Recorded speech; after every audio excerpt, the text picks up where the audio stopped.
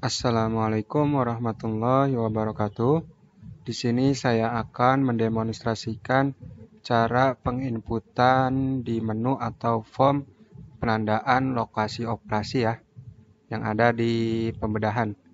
Nah, di sini untuk menunya itu yaitu ada di pembedahan, dokter, kemudian di sini ada menu penandaan lokasi operasi, kita klik Nah, untuk tampilan menunya seperti ini ya.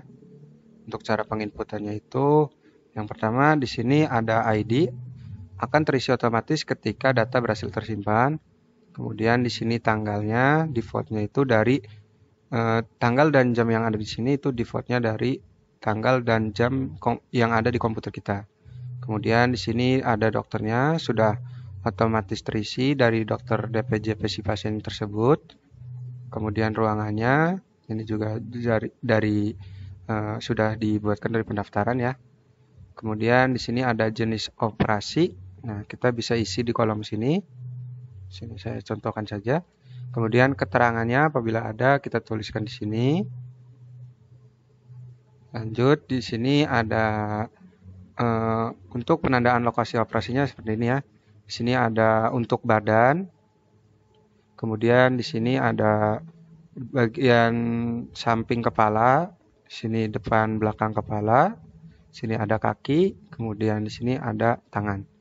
Nah, untuk penandaan lokasinya itu kita dengan cara klik uh, mouse ya, klikkan klik kiri yang ada di mouse kita tekan. Contoh saya akan menandakan yang ada di perut.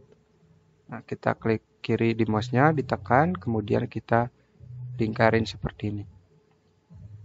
Oke, kalau emang ada tambahan lagi, kita bisa tambahkan di sini seperti ini.